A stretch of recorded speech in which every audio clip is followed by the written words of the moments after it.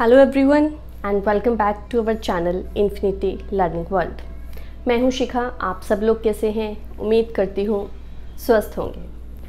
हमने work energy पार किया था बट हमने उसका क्विक रिवीजन किया था जिसमें हमने सारे टॉपिक्स कवर किए थे।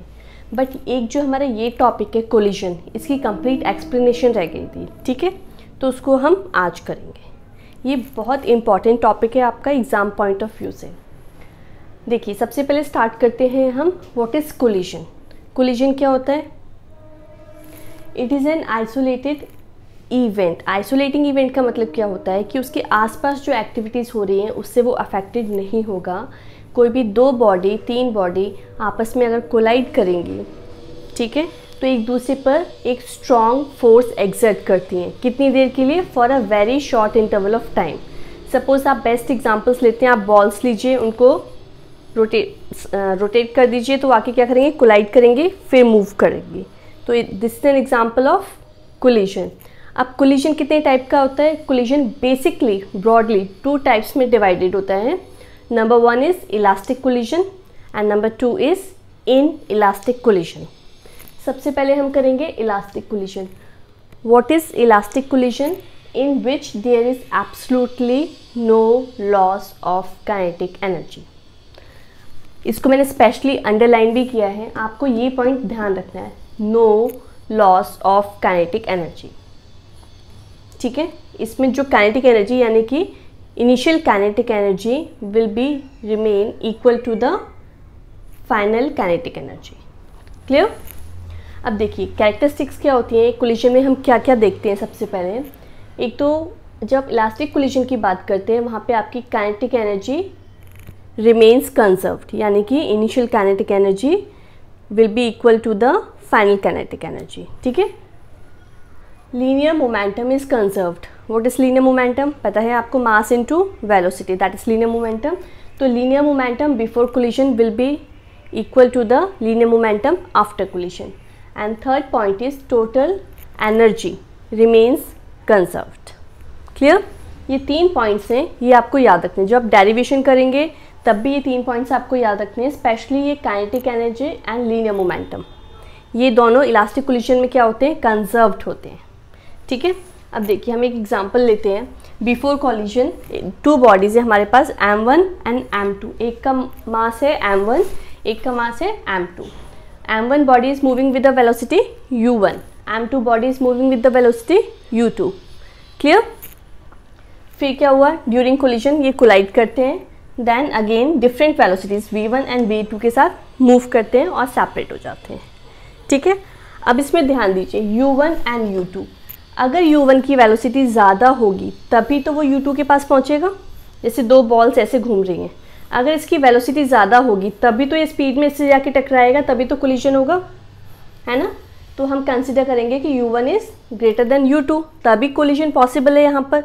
अदरवाइज़ अगर u2 to is greater then u1 होगा तो आगे वाली बॉडी हमेशा ज़्यादा स्पीड से ट्रैवल करती रहेगी, पीछे वाली उसको फॉलो करती रहेगी, कोई कोलिजन नहीं होगा। क्लियर है? इसीलिए यहाँ पर u1 is greater than u2 ठीक है? यहाँ से हमें क्या पता चलता है? Relative velocity of approach approach यानी कि दो बॉडीज हैं। एक बॉडी दूसरी बॉडी के पास कब जाएगी? When u one is greater than u two यानी कि velocity of this body will be greater than velocity of this body तो इसको हम क्या बोलते हैं? रिलेटिव वेलोसिटी ऑफ़ अप्रोच ये कैसे फाइंड करेंगे? U1 one minus u two relative velocity relative आपको टर्म आपने पहले भी पढ़ी है प्रीवियस चैप्टर्स में. रिलेटिव वेलोसिटी ऑफ़ अप्रोच यानी कि दूसरे के पास पहुँचने के लिए. तो this will be u1 one minus u two clear उसके बाद कोलिजन होगा. आफ्टर कोलिजन क्या होगा? वेलोसिटीज फिर स्प्लिट हो जाएँगी. यहाँ पे क्या होना चाहिए? देखो, अगर मैंने लिखा है v2 two is greater than v1 v2 two v one से ग्रेटर देन होगा, तभी तो एक बॉडी आगे जाएगी, एक बॉडी पीछे जाएगी। ठीक है? ये देखो, ये दो बॉडीज थी, इन्होंने कोलाइड किया। कोलिजन के बाद क्या हुआ कि इसकी सेकेंड बॉडी की वेलोसिटी जो कि हल्की वेलोसिटी हमने ली है एम टू क्या लिया है हमने? कंपेरेटिवली लाइटर वेट लिया है। तो उसकी वो से क्या हुआ? आफ्टर कोलिजन उसकी वेलोसिटी ज़्यादा होगी किससे? पहली वाली बॉडी से। तो यहाँ पर रिलेटिव वेलोसिटी ऑफ़ सेपरेशन क्या हो गया? V2 two minus v one v two minus v one separation separation देखिए, यहाँ एक और टर्म आती है which is known as coefficient of restitution it is represented by small e ठीक है?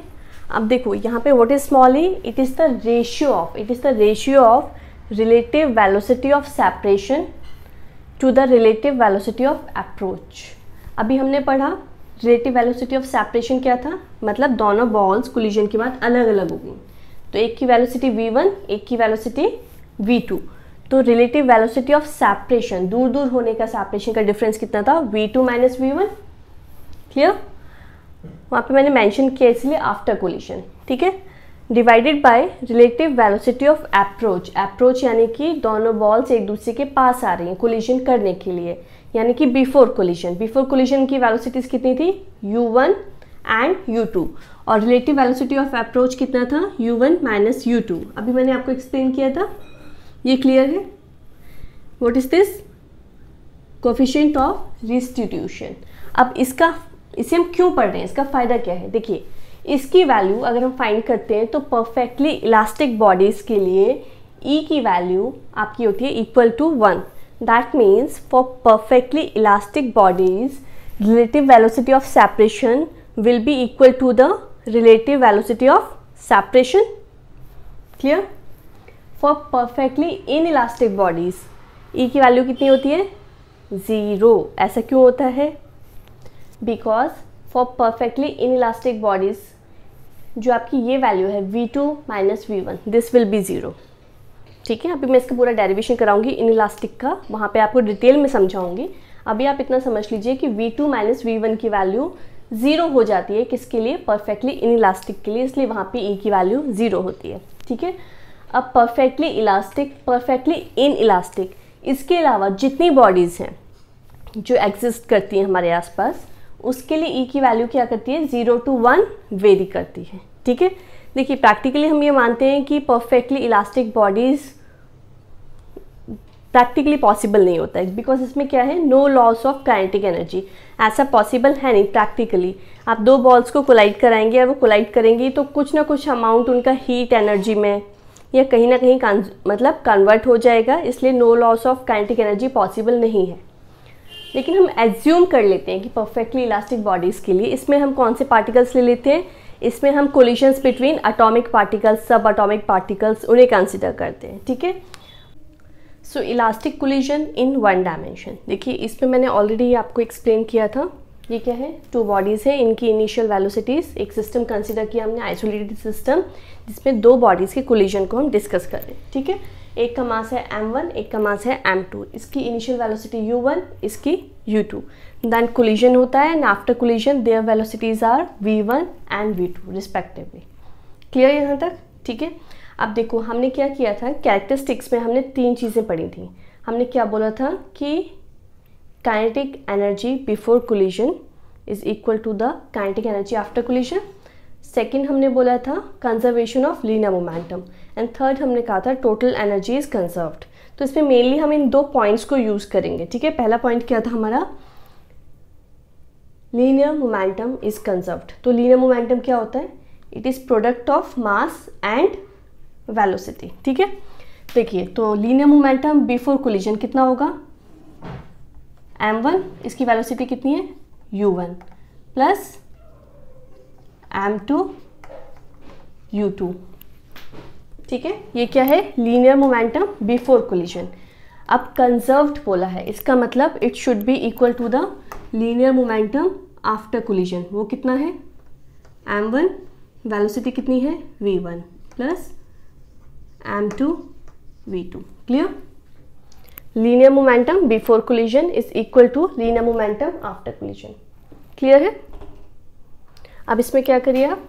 एम वन को एक साइड रखिए। तो ये हो जाएगा आपका u1 one minus v one m two किस साइड लीजिए। ये इट इज़ वी टू ये इधर आ जाएगा माइनस यू टू ठीक है? मेक इट इक्वेशन वन यहाँ तक हो गया। अब इसके बाद क्या था कि kinetic energy is conserved kinetic energy का फॉर्मूला क्या होता है? हाफ़ एम वी स्क्वायर ठीक है? तो पहले इस बॉडी पे आते हैं। This is one by two m one u one square kinetic energy of this body ठीक है? Plus one by two m two u two square conserve means it should be equal to the total kinetic energy after collision ये तो before collision वाली हो गई। अब after collision यहाँ से देखेंगे। One by two of m one v one square plus one by two m two v two square clear है? Kinetic energy before collision is equal to kinetic energy after collision अब देखिए इसमें one by two सब जगह है तो cancel कर दीजिए। अगेन एम वन वाली टर्म्स को एक साइड रखिए एम टू वाली टर्म्स को इस साइड करिए। एम वन को यहाँ लेंगे तो हमें क्या मिलेगा? एम वन को कॉमन लीजिए। U one square minus v one square is equal to m two common लीजिए। V two square minus u two square make it equation two now divide equation two by one divide equation two by one इसको इससे divide कर दीजिए, क्या मिलेगा हमें? M one u one square v one square divided by m one u one minus v one minus v one this is equal to m two v2 square, minus u2 square, divided by m1 v2 minus u2 so, here m2 clear अब m1 m1 cancel m2 m2 cancel यहीं पे कर दूँ इसी step में? ये cancel हो जाएगा तो इसको हटा देते हैं। ठीक है? क्लियर आप साथ में ना, जब भी फिजिक्स पढ़ते हो तो लिखा करो। अपनी एक नोटबुक और पेन साथ में रखा करो। अदरवाइज़ सिर्फ़ सुनने से समझ में नहीं आता है। जब आप साथ में लिखोगे तो आपको समझ में आएगा। यहाँ तक क्लियर है? अभी किसका फॉर्मूला होगा? A square minus b square क्या फॉर्मूला होता है?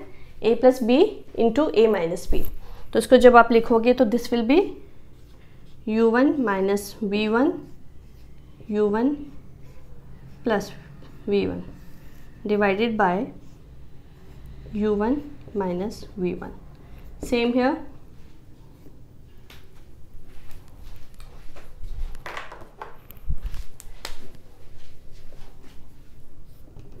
It is v2 minus u2 v2 plus u2 divided by v2 minus u2 आप कैंसिल कर दीजिए क्या क्या कैंसिल होगा? ये इससे कैंसिल हो जाएगा, ये इससे कैंसिल हो जाएगा, ठीक है?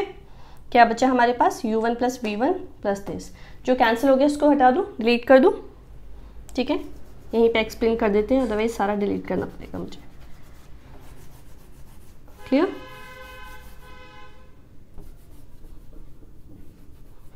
ये कैंसिल हो गया है, इसलिए इसको हटा देती हूँ मैं, ठीक है? आप साथ साथ करेंगे ना, तभी समझ में आएगा। यहाँ तक आ गया आपका। अब हम इसमें क्या करेंगे, देखो। U वाली टर्म से एक साइड ले जाइए, v वाली टर्म से एक साइड ले जाइए। It is u one minus u two is equal to v two minus v one और इसको डिवाइड कर दें तो हमें क्या मिलेगा? V2 two minus v one इसको क्रॉस मल्टीप्लाई करके इसके नीचे ले जाइए। U one minus u two यहाँ पर कितना रह गया? वन ये किसका फॉर्मूला है? अभी अभी हमने पढ़ा था स्मॉल ई e, है ना? देखिए ये वैसा नहीं है। ये क्या है? Relative velocity of separation divided by relative velocity of approach e पढ़ा था अभी हमने। हमने क्या किया? कि उसको इक्वल टू वन प्रूव किया। That means for elastic collisions the value of e is one ये हमने यहाँ पे प्रूव किया। ये इक्वल टू ई है। अभी पढ़ा था हमने। ठीक है? That means for elastic collisions the value of e is one here we proved it यहाँ तक क्लियर है आपको? ठीक है? अब इसके नेक्स्ट पार्ट में अभी क्या करेंगे हम? वेलोसिटीज़ फाइंड करेंगे। कौन सी वेलोसिटीज़ कि आफ्टर कोलिजन ये v1 एंड v2 मीन्स अगर आपको न्यूमेरिकल्स में भी u one u two given है, उनका मास पता है तो आपको आफ्टर कोलिजन वाली वेलोसिटीज़ बता सकते हैं ठीक है? करें इसके आगे? यहाँ तक क्लियर है? कैलकुलेशन ऑफ़ वेलोसिटी में जो लास्ट इक्वेशन हमने फाइंड की थी, जहाँ पे हमने प्रूव किया था कि ई e की वैल्यू वन आती है किसके लिए? लास्ट इक्वेशन के लिए। उस इक्वेशन से स्टार्ट करते हैं। इसको क्रॉस मल्टीप्लाई कर दीजिए। वी टू को एक साइड रखो। बाकी सारी टर्म्स को उधर ले जाओ। पहले तो पहुँच जाएगा आपका u one minus u two फिर यहाँ से वी वन भी उधर चला जाएगा प्लस साइन के साथ। ठीक? ये मिलेगा आपको? ठीक है? अब इसको पुट करना है, कौन सी इक्वेशन में? जो हमारी इक्वेशन नंबर वन थी, कौन सी? कंजर्वेशन ऑफ़ लीनियर मोमेंटम की। वो इक्वेशन क्या थी? उसमें था m one u one plus m two u two is equal to m one v one plus m two v two ये इक्वेशन थी ना? यहाँ पे वी टू की वैल्यू पुट कर दो, ये वाली। ठीक है? तो हमें क्या मिलेगा? बाकी तो सेम एज इट इज़ मैं इस साइड वाला लिख देती हूँ। M one v one m two u one u two plus v one open कर दीजिए इसको। एम वन वी वन देखो, u एंड v में कंफ्यूज नहीं होना। मैं u एकदम प्लेन लिखती हूँ और जो v लिखती हूँ, उसकी हल्का सा एंड में चोंच बनाते हैं हम चिड़िया की चोंच, ठीक है? इसको m two u one m two u two plus m two v one clear अब एम वन वाली टर्म्स को एक साइड कर लो। देखिए, इस साइड भी था हमारे पास। क्या क्या चीज़ें हैं? एम टू यू टू अब इसमें क्या करिए? आप वी वाले वी वन वाली सारी टर्म्स को एक साइड कर दीजिए। तो वी वन के लिए हमें क्या मिल रहा है? दिस इज़ एम वन और एक ये। M two into v one बाकी सारी टर्म्स को उधर ले जाइए। तो इसमें क्या करेंगे आप? एक तो यू वन कॉमन ले लीजिए। जब यू वन कॉमन लेंगे तो ये क्या हो गया? एम वन और यहाँ से क्या आएगा? Minus m two m one minus m two ठीक है? ऐसे ही जब आप U2 को कॉमन लेंगे तो यू U2 में एक तो है यहाँ पे M2 ऑलरेडी ये देखिए। और यहाँ से क्या आएगा आपका? Minus m two. तो माइनस एम टू जब यहाँ से आएगा तो इधर आके क्या हो जाएगा? Plus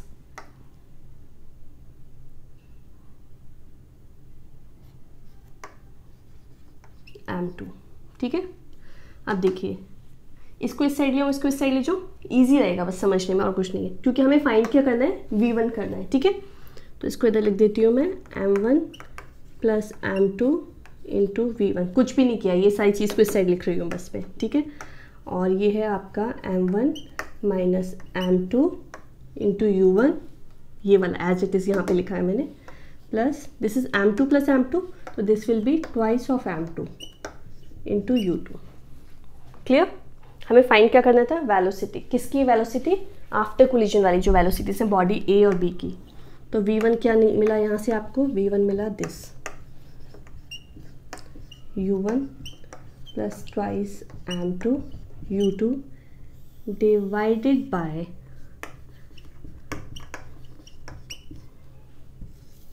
clear ठीक है? ये वेलोसिटी होगी किसकी? एक बॉडी की after collision v one clear ठीक है?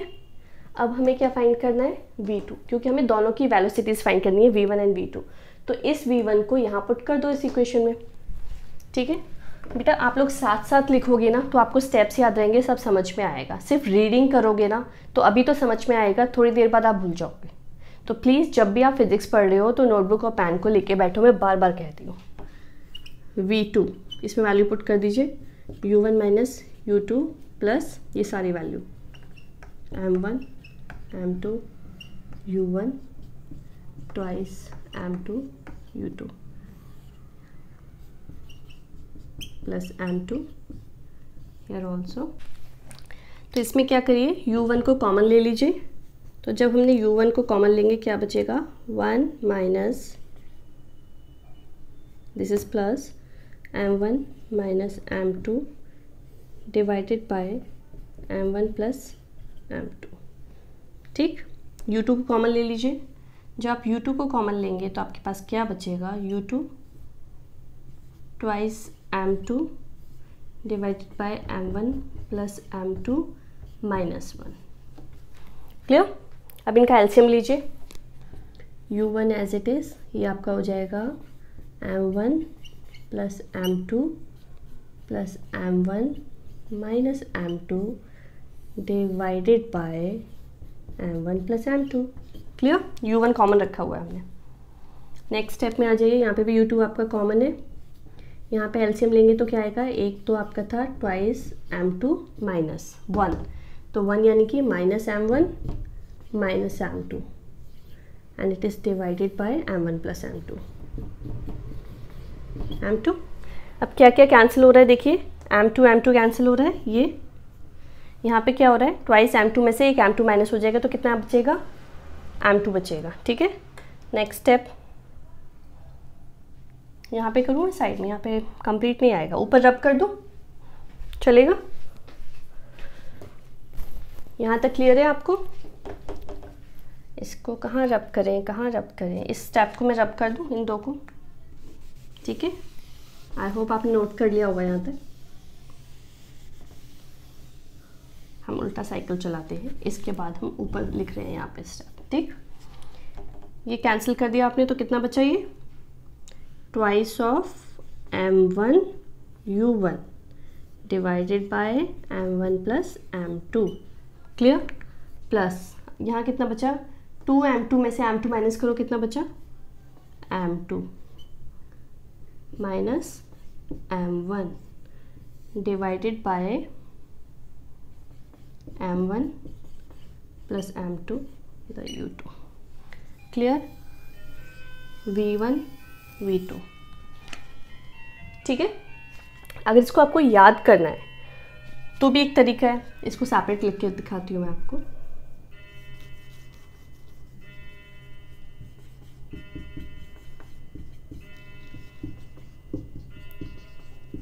देखो, अगर आपको मासेस पता है दोनों बॉडीज़ के तो दोनों वेलोसिटीज़ में divided by m one plus m two m one plus m two m one plus m two इसमें कोई चेंज नहीं है। डिनोमिनेटर सबके सेम है। यहाँ तक क्लियर अब देखिए, जब आप वी वन की बात करेंगे तो पहले में से मास में से सेकंड वाला माइनस होगा। ठीक है? और किसके साथ लगेगा वो? पहले वाली वेलोसिटी के साथ। जब आप वी टू की बात करेंगे तो दूसरे वाले में से पहला वाला माइनस होगा। एक तरीके से इसको क्रॉस मल्टीप्लाई में ऐसे देखिए, ऐसे है ना ये? Two m two u two two m one u one ठीक है? एम वन में से एम टू माइनस किया कब? जब पहले वाले की वेलोसिटी निकाली और एम टू में से एम वन माइनस किया कब? जब दूसरे वाले की निकाली।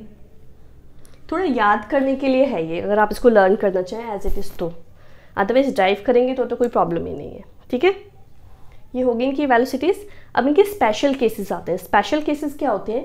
जैसे वो आपको बोलेंगे कि दोनों जो बॉडीज़ हैं they are having equal masses तो वहाँ पे आप एम वन एम टू के इक्वल पुट करेंगे। एक करके दिखाऊँ आपको स्पेशल केस देखिए, इसमें वो अगर आपको कुछ भी बोले कि initially the second body is at rest जैसे उन्होंने आपसे बोला तो सेकेंड बॉडी की वेलोसिटी कितनी है? यू टू तो इन दोनों इक्वेशंस में यू टू को ज़ीरो पुट कर दो। तो जो भी बची वो आपकी इक्वेशन ऐसे अगर वो कहते हैं दोनों बॉडीज़ की इक्वल मास है तो एम वन एम टू को एम पुट कर दो। ये मैं एक आपको करके दिखाती हूँ, है ना?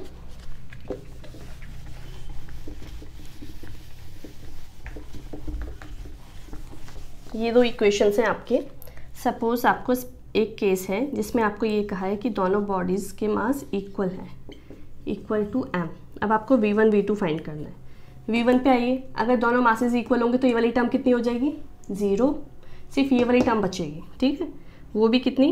Twice m u two divided by m one plus m two that is m plus m है ना? तो ये कितना हो गया? Two m u two by two m तो ये कैंसिल हो गया। तो इसका मतलब क्या बचा आपका? आपका बचा v one is equal to u two ऐसी वेलोसिटी टू पे आ जाइए। वेलोसिटी टू में देखिए इक्वल पुट करेंगे तो ये क्या हो जाएगा?